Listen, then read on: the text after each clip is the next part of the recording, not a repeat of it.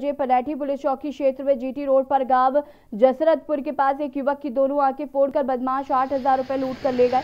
उसे नशीला पदार्थ भी आरोपियों ने सुंगा दिया था। होश आने पर पीड़ित राहगीरों को जानकारी दी, जिसके बाद खबर पुलिस व परिवार तक पहुँची। पीड़ित को जैन मेडिकल कॉलेज में भर्ती कराया गया। बता दें कि थाना छरा के गाँव बादशाह नगर निवासी अरमान पुत्र कल्लू खा गाजियाबाद में एक प्राइवेट कंपनी में काम करता है। शुक्रवार को वो गाजियाबाद से रोडवेज़ बस से अपने गाँव लौट रहा था। गाँव जाने के लिए पनैठी तिराहे पर उतरना था। जीटी रोड पर चल रहे काम के चलते बस पनैठी पार कर गई और वह जा नहीं पाया। इसके बाद वह गाँव जसरतपुर के पास अपना ढाबा के पास बस से उतर गया। वहाँ से पनैठी तिराहे की ओर जाने के लिए एक टेंपो चालक ने उसे गाड़ी में बैठा लिया जिसके बाद घटना को अंजाम दिया गया। कहाँ कहाँ कहाँ छीन लिए अरे सारा मत लिए लड़ाई ना हुई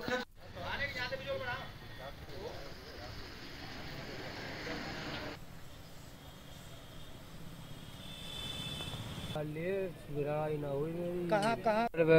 नैना कल्लू वाली वाला होटल है ये कहाँ पे? ये वाला मैं बिस्तर मेरे बैग सब रखे हैं वो टेंपो वाले वो जाने वो भी।